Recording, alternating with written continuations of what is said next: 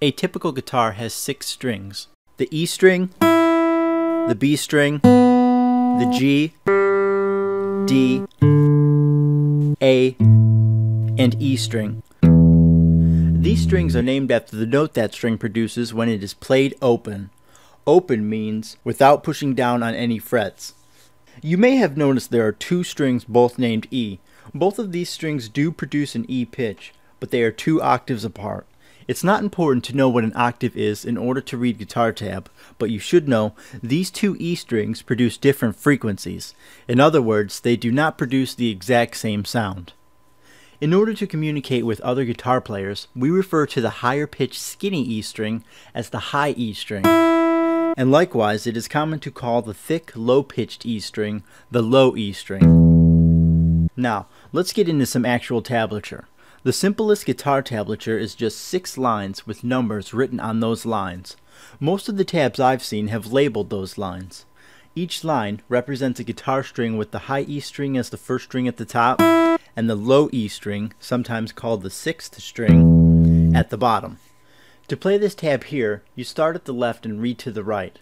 This entire melody is played on the B string, which is the second skinniest string. The numbers tell you which frets you will push the string down onto. The zeros that you see mean you will play the B string open, without pushing down on any frets. Now, watch as this melody is played a few times.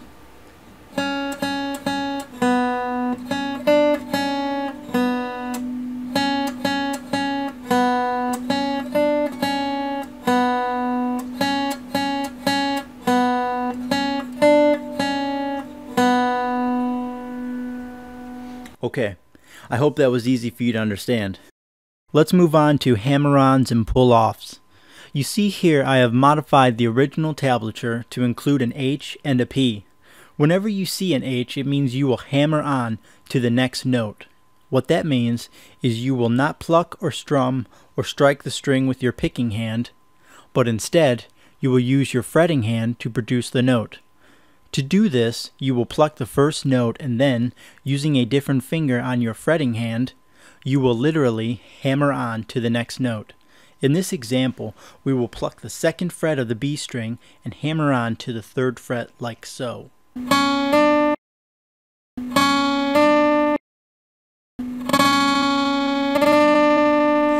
A pull-off is the opposite of a hammer-on. Just like the hammer-on, whenever you see a pull-off, you will not pluck or strum the next note. Instead, you will use your fretting hand to sound that note. To do this, you will need to push down on two different frets at the same time and then lift up the finger you are using to fret the first note. In this example, we will have to push down on the second and third fret at the same time and then lift up the finger holding down the third fret. This will cause the string to produce the note at the second fret. In the example shown, there is a hammer-on followed by a pull-off. This is common with hammer-ons and pull-offs. To play this series of three notes, you will only need to pluck the B string once. Let's see it in action.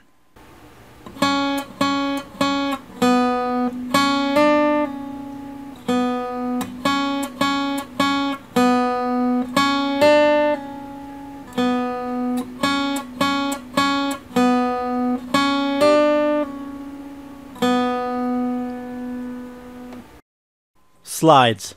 A slide is usually represented by a forward slash or a backslash. Forward slashes are used when the note you are sliding to is higher up in pitch than the note you start with. Likewise, a backslash is used when the note you are sliding to is lower in pitch. The way a slide works is you pick the first note before the slide symbol, and while still applying pressure to the fretboard, you move your fretting finger to the next note. In the example shown, we will slide up to the third fret from the second fret, and then we will slide right back down to the second fret.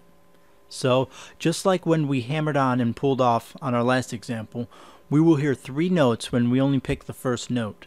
Here's how this tab will sound.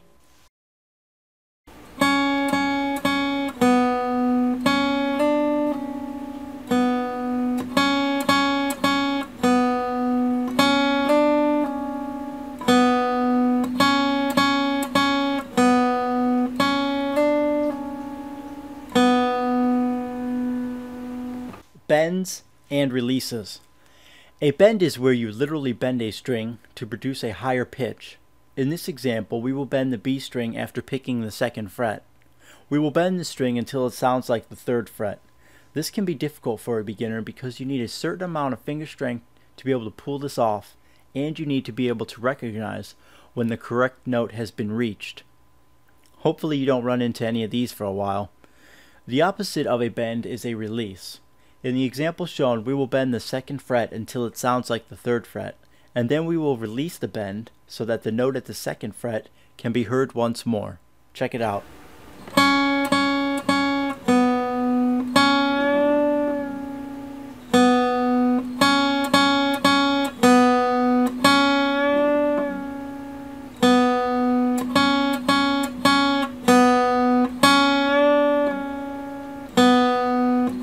Let's move on to string muting now.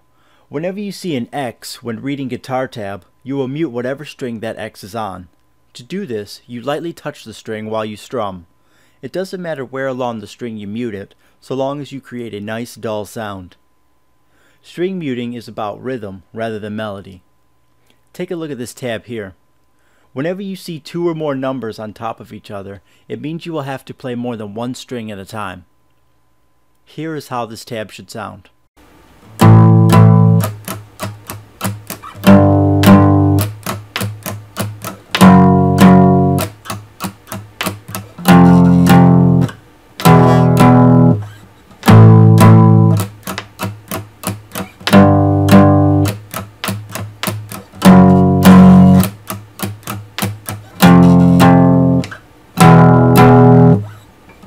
So there you have the basics of guitar tablature.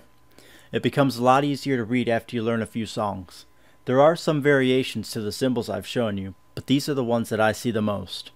I have a few tablature videos geared toward beginners, you might want to check them out.